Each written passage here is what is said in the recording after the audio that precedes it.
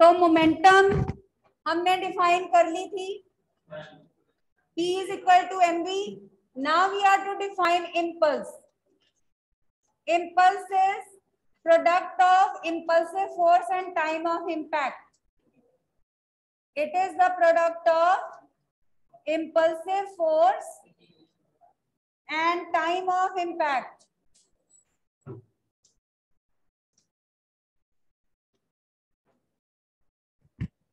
It is the product of impulsive force and time of impact. What is impulsive force? That acts for a moment of time, but it, its effect is very large. Okay?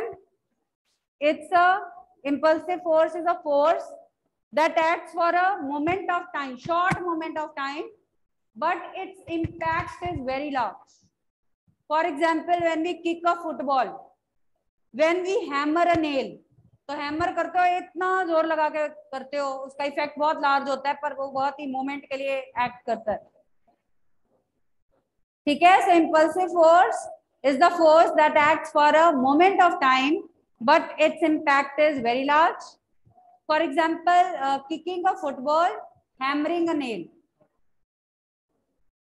and what is time of impact? It is the time for which impulsive force acts on an object. It is the time for which an impulsive force act on the object जितने time के लिए force act कर रहा है, उसको हम बोलते हैं time of impact so what is the unit of impulse newton second newton is KG metre per second square into second so K G metre per second same as that of momentum. So you can say impulse and momentum have same unit. ये तो पहले हम prove कर चुके हैं कि इनकी dimension same होती है यूनिट भी सेम ही है they have same units and same dimension ठीक है so impulse and momentum have same unit and same dimensions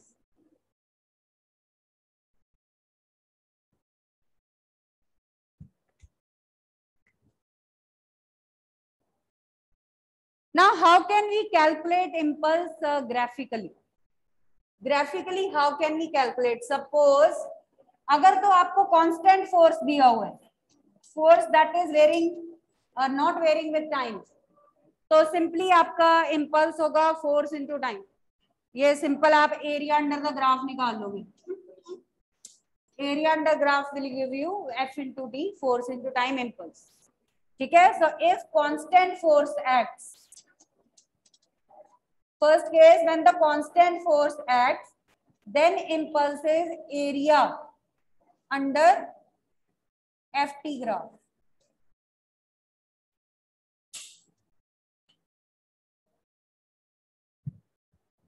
But if a variable force acts,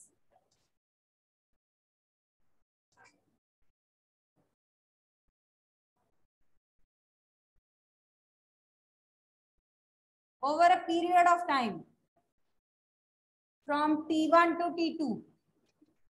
Suppose a variable force act कर रहा है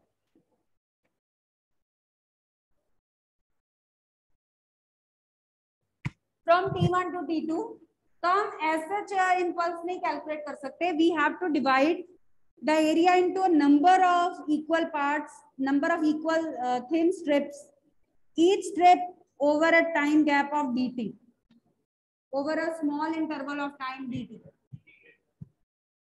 तो हमें पहले डिवाइड करना पड़ेगा. Let us find area of one strip first ये तो हमें पता है कि area under the graph gives us impulse so to calculate impulse let us take area one strip so what is the use of dividing this area into number of equal parts over each part the variation of force will be very small almost constant ठीक है? Almost constant है variable variation इतने ऐसे बहुत ज़्यादा variation थी।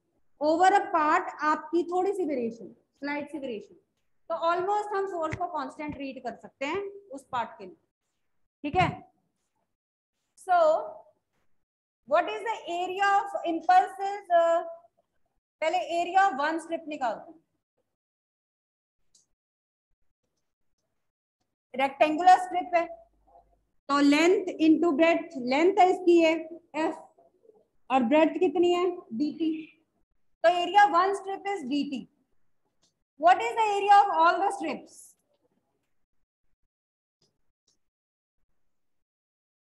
that is integral F T ऐसे सभी पार्ट्स को ऐड कर देंगे एरियाज़ को. टोटल एरिया आ जाएगा. And we know that area under the graph gives us impulse तो इसका मतलब इम्पल्स आ जाएगी हमारी integral F D T within the limit T one to T तो this will be our impulse क्या लगाया हुआ है यहाँ पे?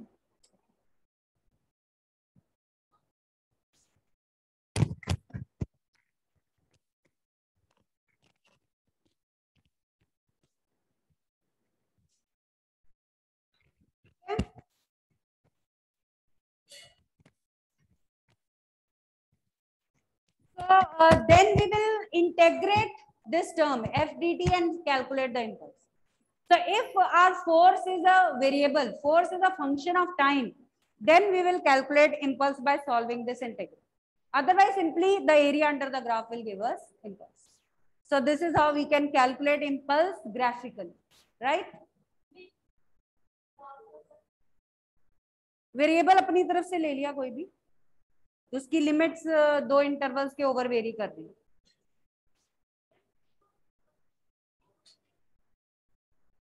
आप समेशन ही होती है इंटीग्रेशन इंटीग्रेशन है समेशन एक स्ट्रिप का इतना है तो सारी स्ट्रिप्स का कैसे आएगा? उनको इंटेग्रेट करके। ठीक है? Next is Newton second law of motion so then we come to newton's second law of motion. पता ही है आपको rate of change of momentum आप प्लस वन में हो तो हम डेरिवेटिव की लैंग्वेज यूज़ करेंगे।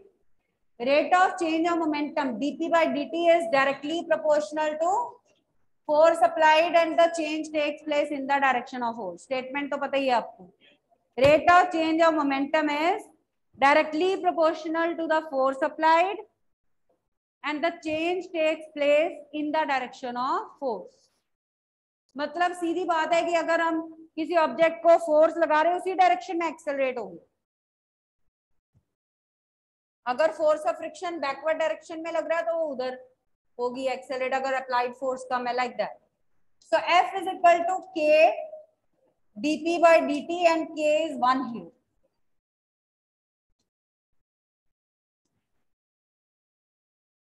ठीक है? अब पी क्या है? Mv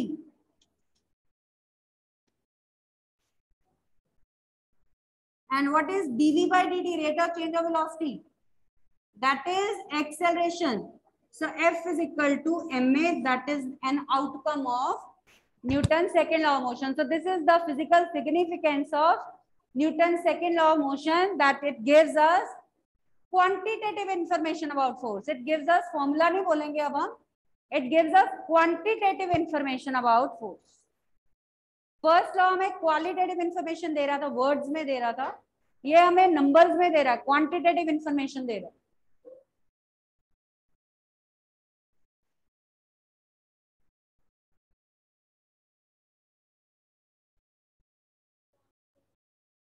quantitative information about force that F is equal to ma. अब इससे हम डिफाइन कर सकते हैं यूनिट्स ऑफ़ फोर्स भी ठीक है तो there are two types of units of force absolute units and gravitational units which are the absolute and gravitational units of force absolute and newton or dyne or kg weight or kg force and gram weight or gram force kg weight or kg force gram weight या gram force अब F physical to M में है तो force हमारा one newton कब होगा when mass is one KG and acceleration is 1 meter per second square. So 1 Newton is the force that produces an acceleration of 1 meter per second square in an object of mass 1 kg. ठीक है जो आप major कर सकते हो अगर आप one के लेते हो वन न्यूटन का फोर्स अप्लाई करते हो तो one metre per second square ही प्रोड्यूस होगी उसकी तो ये मेजर्ड है ये things so one newton is the force that produces an acceleration of one metre per second square that produces an acceleration of 1 meter per second square in an object of mass 1 kg. In an object of mass 1 kg.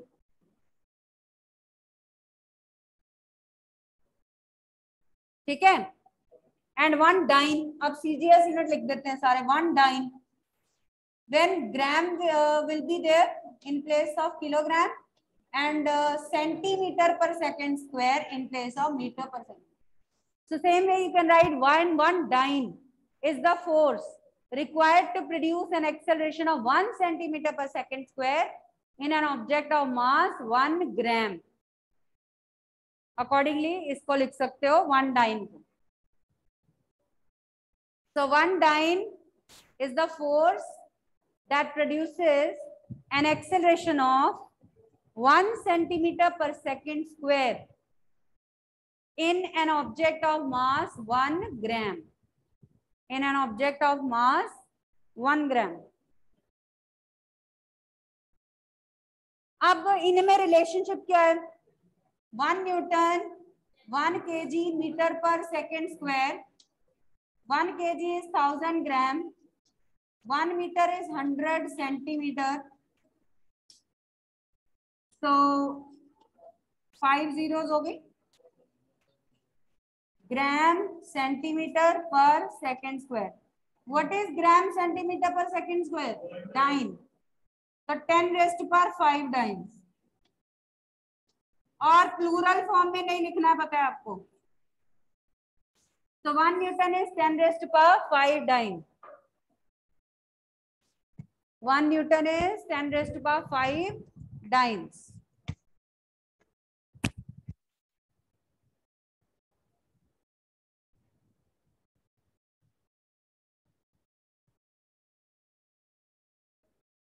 Clear?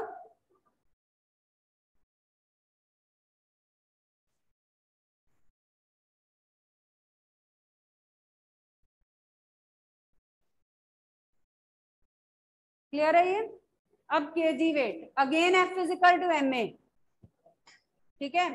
तो one के जी weight इसको तो आप सीधा ही define कर सकते हो. Weight क्या होता है? Gravitational force acting on an object and when the mass of the object is one K G we it it kg weight. तो लिखिए definition kg weight. One kg weight. It is the gravitational force. It is the gravitational force acting on an object acting on an object of mass 1 kg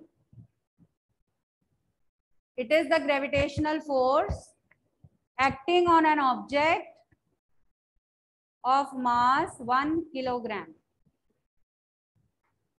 one kilogram.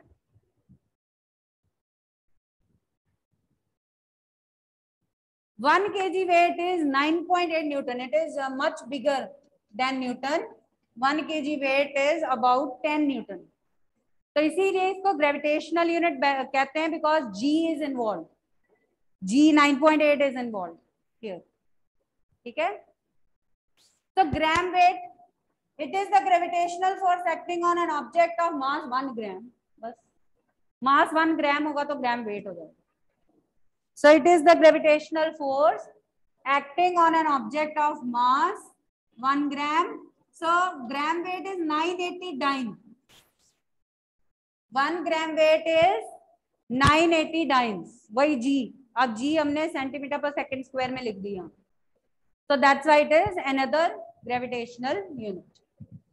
what will be the relation between kg weight and gram weight वही k का ही difference है K G weight is thousand gram weight if you want to write वैसे उसकी ज़रूरत नहीं पड़ती ज़्यादा one K G weight is thousand gram weight these are the units examples of Newton second law examples आप लोगों ने नाइन्थ में किए हुए एक बार रिकॉल कर लेते हैं बस. एग्ज़ाम्पल कौन कौन से किए थे आपने? Athlete lowers his hands while catching a ball why does an athlete lower his hands while catching a ball because by lowering the hands he is increasing the time of impact and decreasing the change in momentum so less force is exerted according to this formula he is making time of impact increase and change in momentum small. So less force is exerted on the hands. That's why. ठीक है और इसी के basis पे और भी थे buffers are provided in uh, bogies of the train shockers are provided in vehicles chinaware and glassware delicate items are wrapped in straw thermocol before transportation uh, a man falling on pakka floor gets hurt more as compared to man falling on sandy floor ये सारे example थे हाँ जी हाँ karate player वाला example दे सकते हो तो बस इनके हिंट्स लिख लो हिंट्स लिख लो a person falling on cemented floor gets hurt more a person falling on cemented floor gets hurt more compare to one falling on a sandy floor कच्चा floor and second example is ये athlete वाला हो गया third example buffers are provided in bogies of the train Buffers are provided in bogies of the train. Next is shockers are provided in vehicles. Shockers are provided in vehicles.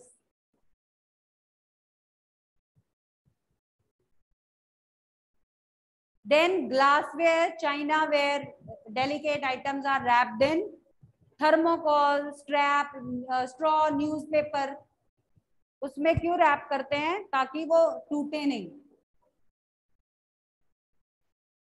ठीक है glassware chinaware and delicate items are wrapped in straw newspaper और thermocol before transportation right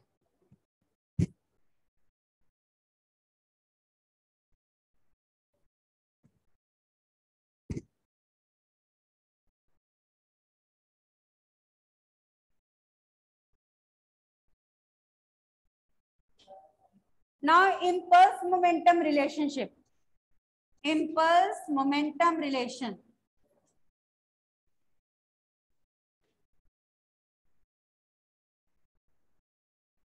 ये तो हमने देख लिया कि unit same है but otherwise what is the relation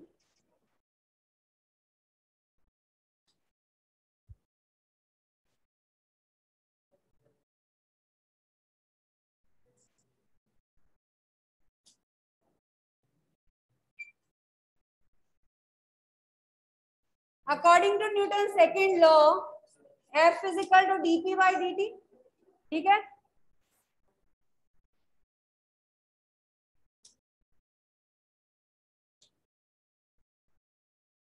Cross multiply cross multiply you get this integrate both sides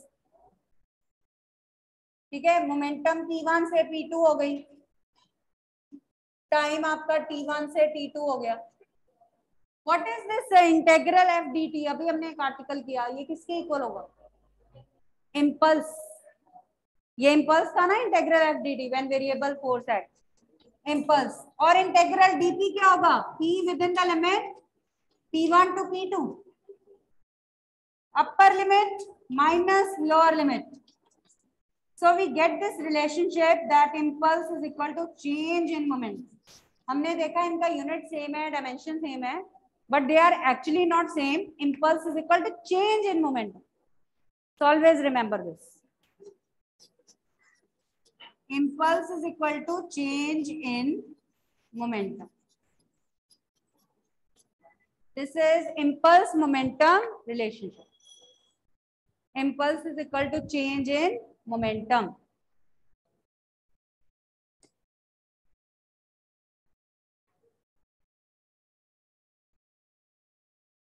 Then we come to Newton's third law.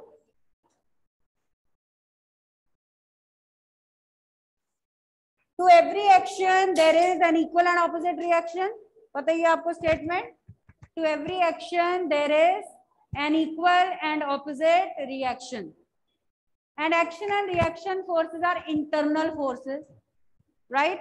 And they exist in pairs. So their sum is zero. And you can say f1 is equal to minus f. This is the mathematical form of you can say newton's third law of if action and reaction are equal and opposite why don't they cancel each other and how does the motion take place yes, because, no, क्या answer है? अगर opposite direction में है तो तो cancel हो जाएँगे ना? Yes, answer is because they act on two different objects. एक फोर्स एक ऑब्जेक्ट पे लगता है, वो उस डायरेक्शन में चली जाती। है दूसरा, दूसरी ऑब्जेक्ट पे लगता है, वो बैकवर्ड डायरेक्शन में चली जाती। सिंपल सा एग्जांपल है, आपने किसी को थप्पड़ लगाया, उसने आपके लगा दिया। वो एक्शन था ये रिएक्शन है ऐसे ही होगा, आप छोड़ोगे थोड़ी? किसी ने आपको मारा, आप उसको भी तो मारोगे। और आजकल तो इक्वल भी नहीं होता, है ना? हम्म। उससे ज़्यादा ही होता है, ईंट मारी तो पत्थर मारेंगे है नहीं मतलब पत्थर मारा तो ईंट मारेंगे उठा। चलो बट हम ये सपोज़ कर लेते हैं एक ने एक मारा तो एक ही मिला, है ना? यही मान लेते हैं। लेट अस अज्यूम कि इक्वल हुआ, है ना? अब इसके एग्जांपल्स बहुत सारे किए हुए हैं आपने। Walking swimming rocket working of rockets and jet planes recoil of gun recoil of gun when we fire a bullet from a gun our shoulder experience is little backward jerk ठीक है? Case of a boat when we step out of a moving boat, when we step out of a boat, the boat moves backwards. हम आगे पैर रखते हैं boat पीछे चली जाती है। ठीक है? The case of a hose pipe fire brigade वाले जो यूज़ करते हैं। चार पाँच लोगों ने मिलकर हॉर्स पाइप को पकड़ा होता है। Because lot of water is coming out with a large action force So in turn, water also exerts a large reaction force on the hose pipe. So it becomes difficult for one person to hold that pipe. Four five firemen together hold it and manage it. ठीक है तो case of hose pipe then lawn sprinkler is there बहुत सारे example हैं इसके आप books में देखोगे ऐसे एग्जांपल भी दिए हुए हैं कि a man is stuck at the bottom of a swimming pool how can we how can he come to the surface of water उन्होंने लिखा हुआ है कि वो अपनी शर्ट रिमूव करके ऑपोजिट डायरेक्शन में फेंकेगा तो ऊपर आ जाएगा। ऐसे भी दिए हुए एग्ज़ाम्पल वो वैसे ही है मतलब न्यूटन थर्ड लॉ को क्लियर करने के अपनी शर्ट ऑपोजिट डायरेक्शन में फेंकेगा तो ऊपर आ जाएगा। मतलब ऑपोजिट रिएक्शन मिलेगा, ऊपर आ जाएगा। कि वो ऊपर, वो भी तो हैवी हो जाएगी ना वाटर के अंदर वाटर से। मतलब कुछ होना चाहिए हाथ में। स्पेस वाले क्वेश्चन भी हैं आपके। आपके स्पेस वाले क्वेश्चंस भी ऐसे ही मिलेंगे आपको। बुक्स में देखोगे आप कि अगर वो स्पेस में है तो कैसे वो स्पेसशिप में वापस आ सकता है? स्पेस में भटक गया अगर कोई तो वही वो अगर ऑपोजिट डायरेक्शन में कोई चीज़ फेंकेगा तो उधर को आ सकता है ऐसे कुछ चीज़ें ठीक है? चलिए। वहाँ तो कुछ कई क्वेश्चन ऐसे हैं जिनमें बेस नहीं एक्चुअली पॉसिबल नहीं है। Why can't horse and run horse and cart run in empty space ये क्वेश्चन भी है। कि horse and cart empty space में क्यों नहीं रन कर सकते? नीचे ग्राउंड नहीं है तो क्यों नहीं वो सिस्टम मूव कर सकते? आप मतलब यही आंसर दोगे कि if there is no action there is no reaction अगर कोई सरफेस ही नहीं है जिसपे हॉर्स एंड कार्ट एक्शन करेंगे तो उनको रिएक्शन नहीं मिलेगा और वो मूव नहीं करेगा मतलब कुछ क्वेश्चन इमेजिनरी है। वो सिर्फ़ ये जो कॉन्सेप्ट है, वो एक्सप्लोर करते हैं। सिर्फ़ कॉन्सेप्ट को एक्सप्लोर करने के लिए ऐसे क्वेश्चन दिए ठीक है? चलिए, अब हमने थ्री के थ्री लॉस कर लिए out of three which is the universal law out of the three laws which is the real law of motion second law Newton second law is the real law of motion reason ninth में किया था आपने, बताओ क्या था reason Yes, anyone knows the reason? Because both first and third laws can be obtained from second law तब आपको बस इतना ही करवाया गया था आज आपको इसका प्रूफ करवाते हैं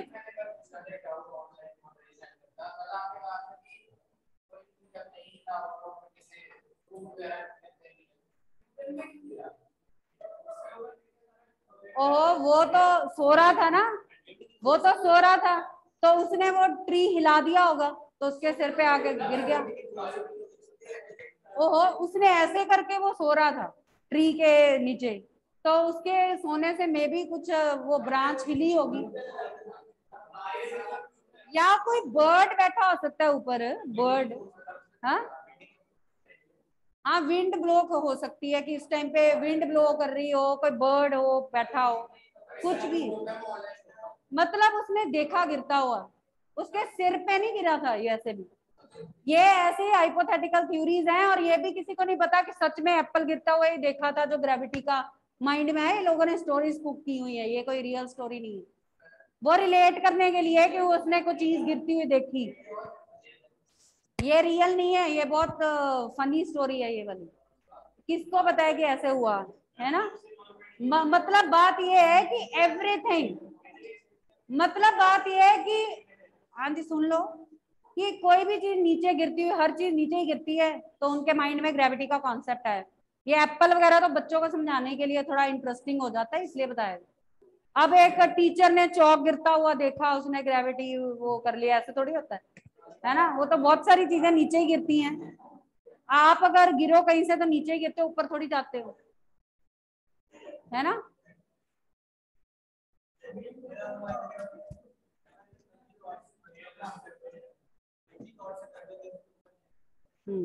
उस टाइम पे थी पंजी कॉर्ड उस टाइम पे थी पंजी कॉर्ड और वो भी तो एक्शन और रिएक्शन ही है है ना? Okay come back to this show that Newton second law is the universal law is the real law. First is to obtain first law from it. Because we can obtain both first and third laws from it तो पहले first law कैसे obtain करते हैं वो देख लो F is equal to ma if external force acting on the system is zero जैसे हम first law में कहते हैं कि जब तक फोर्स नहीं लगता बॉडी उसी स्टेट में रहेगी तो जब तक नहीं लग रहा मतलब फोर्स ज़ीरो है तो then m a will be zero अब मास तो नॉन ज़ीरो है acceleration is zero. Acceleration is v minus u over t, v equal to u up. That means final velocity is equal to initial velocity. तो अब अगर वो object rest पे थी if the object was at rest तो इसकी u zero थी तो according to this equation v equal to u v भी ज़ीरो होगा। जो रेस्ट पे थी बॉडी वो रेस्ट पे ही रहेगी। अगर फोर्स एक्ट नहीं करेगा yes this is Newton first law that we are derived from second law और अगर ऑब्जेक्ट यूनिफॉर्म मोशन में थी यूनिफॉर्म स्पीड से जा रही थी यू से तो उसकी v भी u के इक्वल स्पीड चेंज नहीं हो रही। वी आर श्योर दैट कि स्पीड भी चेंज नहीं हो रही उसकी। यूनिफॉर्म मोशन में थी यूनिफॉर्म मोशन में जाती रहेगी। So yes this is Newton first law that we obtain using second law एक पार्ट हो गया, देख लो। See F one part is clear to you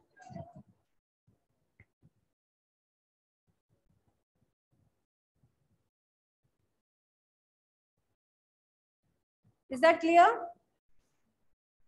चलो, अब थर्ड लॉ देखते हैं। आपको ये तो पता है ना कि जब न्यूटन थर्ड लॉ एप्लीकेबल होता है तो मोमेंटम क्या होती है?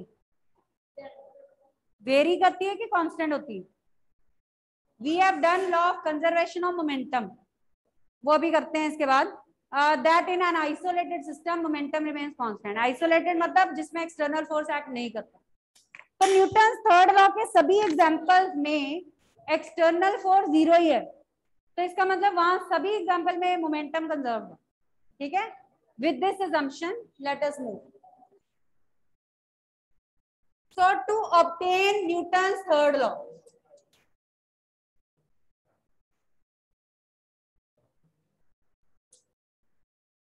ठीक है? अब टोटल मोमेंटम कांस्टेंट है आपकी। ठीक है?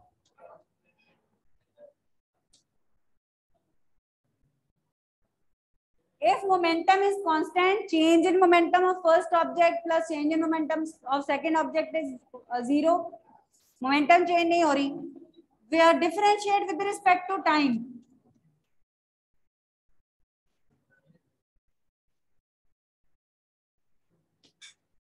ठीक है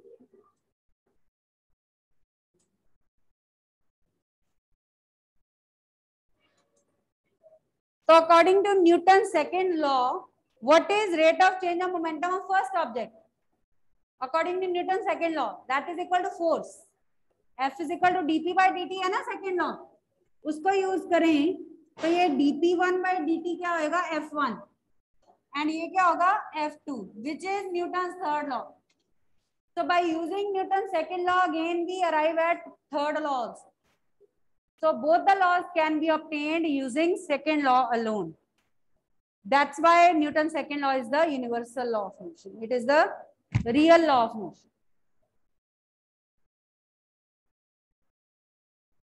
ठीक है Have a look at this.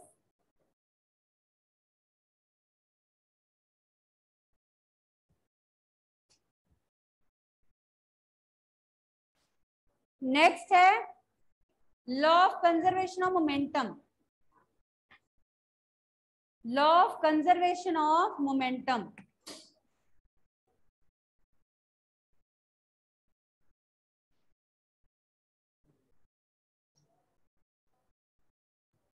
चलो वील कंटिन्यू टुमारो